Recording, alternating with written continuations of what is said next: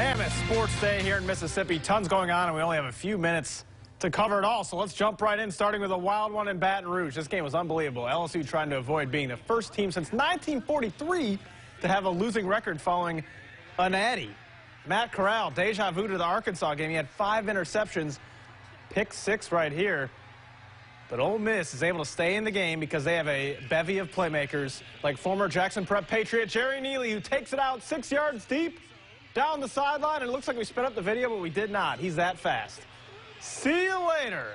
Big touchdown. Fast forward, fourth quarter, it gets crazy. So it's 40 to 34 LSU. It is just pouring rain, and Corral bounces back, hits Braylon Sanders in the back of the end zone suffers what looks like a, a, significant injury, but he hangs on. Rebels would eventually go up eight, but the Tigers scored twice to go up five.